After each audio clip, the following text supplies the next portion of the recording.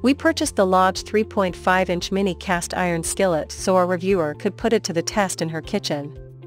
Keep sawing for our full product review. Lodge, the last remaining manufacturer of cast iron in the United States, carries the largest range of sizes of its signature skillet. There's the miniature cast iron skillet, an adorable 3.5 inches in diameter, as well as a 15-inch skillet that could feed a family reunion. We wanted to determine whether the smallest pan performs as well as Lodge's more frequently used sizes. Is this tiny skillet a versatile virtuoso or does it still have some growing up to do? We investigated for you. Design a tiny version of a classic. The Lodge 3.5-inch mini cast iron skillet is the smallest of the iconic manufacturer's line, billed as being perfect for solo meals, frying an egg or showcasing trendy restaurant-style individual desserts. It shares the classic features of cast iron skillets. It's heavy for its size, connoting durability and longevity.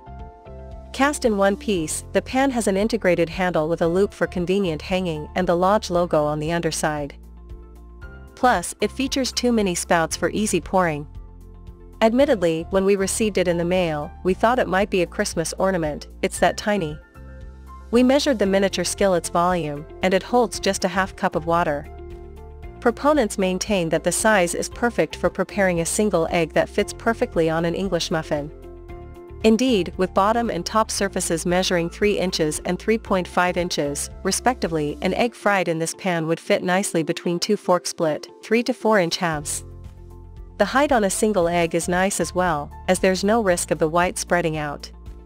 The Lodge Mini skillet rings up at less than $15, reasonable for a novelty but not for a too small pan that won't release your breakfast. The skillet's handle is short, gets hot quickly, and is a mere 1 inch above any cooking surface. We had difficulty using it on a gas stovetop as it's smaller than the smallest simmer burner, which sent flames